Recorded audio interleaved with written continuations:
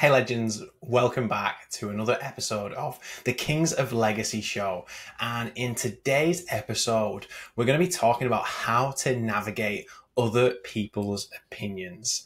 And I want to talk about other people's opinions today in a way that's going to help you navigate them next time they pop up in your world because we all know that they pop up here, there, and everywhere, everywhere.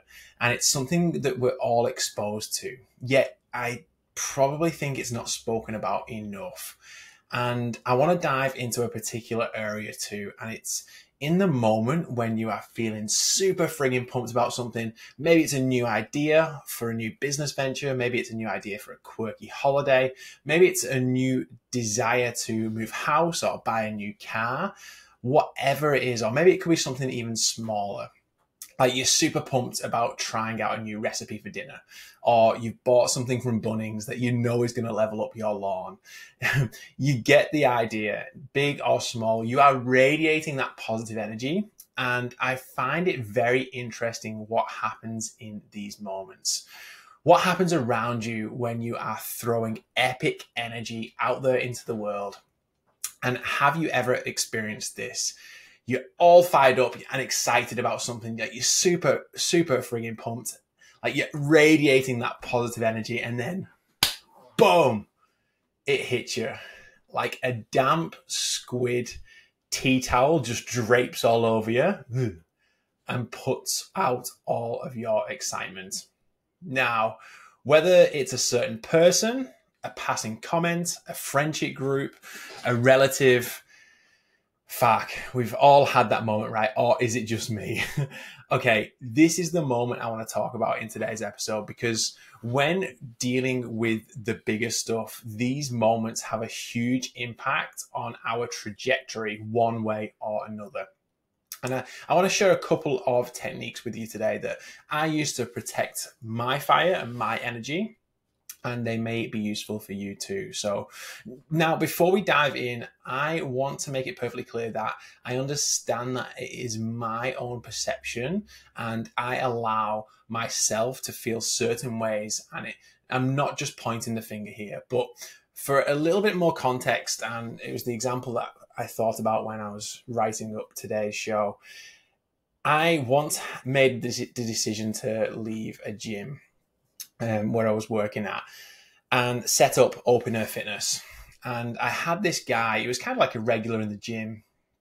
Um, we spoke a few times, but I wasn't super close with him or hadn't had a real close connection with him. And he heard that I was leaving the gym. And I, that was, and he heard about what I was moving on to, to to set up Open Air Fitness. And one day, and it was one of the last days in office at the the gym I was working at. He walked into my office and he said something to me and he said when you get bored of running around the park and want to get a proper job give me a shout. And then he just passed his card to me and he kind of just like slingshotted it across the desk. And now don't get me wrong could he have just genuinely be been trying to be a nice guy at the time and help me out? Yes, absolutely. That is a possibility. But I have found more often than not, and in that particular moment, he was being a damp squid, 100%. I have a pretty good read of body language and it was it wasn't done in a helpful way. And maybe you've experienced some something similar. Someone's just come in, big fire extinguisher and just put out all your flames. Now, it can come down to a number of different things. Like, are they jealous of you? Are they worried what you're going to reach, like the heights you're going to reach that they maybe have dreamt about, but they've never actually done it? Um, are they just afraid of change, or do they like do they operate from a really high level of certainty in their lives? Do they just have the adopted behavior from past generations that is to operate through a lens of criticism? Possibly. These are all possibilities, and there are so many different possibilities. But the point I want to make here, and it's some of the best advice that I have ever been given, is don't take criticism from people you would never go to for advice. And not to say that this guy was criticizing me but you get the idea. Now, just to go back to the Open Air Fitness story, Open Air Fitness is about to turn 10 years old and it has given me far much more professional, financial, and spiritual growth than any label, quote unquote, proper job could have given me. Imagine if I had listened to that guy or let that guy's uncertainty eat away at my own certainty. I was certain I was going to make it work, and I did. And I want to give you a couple of practical ways to deal with situations like this, like this if they ever arise in the future for you. So number 1 is be super mindful of your own reaction to the comment or the criticism and the first thing is like just understanding that awareness is the first step to managing your emotions.